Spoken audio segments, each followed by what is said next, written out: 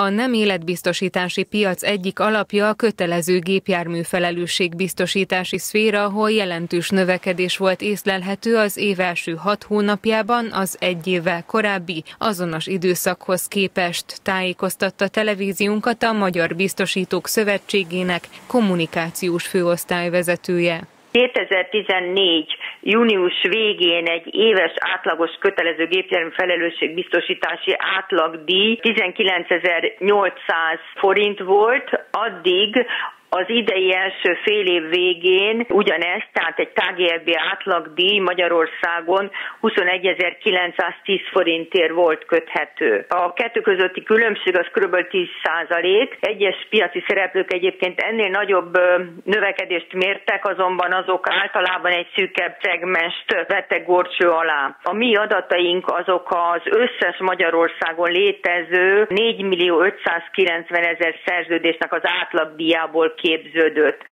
A KGFB-s alapdíjak növekedésében az is közrejátszik, derült ki az Európai Autógyártók Szövetségének adataiból, hogy az első fél évben mintegy 37 ezer gépjárművet helyeztek üzembe Magyarországon. Ez 12 százalékos növekedés a tavalyihoz képest, így a biztosítási szerződések darabszáma is jelentősen, mintegy 173 ezer darabbal nőtt meg. A gépjármű biztosítások másik nagy területe a kaszkó biztosítások piaca is lassú bővülést mutatott az első fél évben, a díjbevételek 6%-kal, közel 2 milliárd forinttal nőttek, a szerződések száma pedig közel 9700 darabbal emelkedett.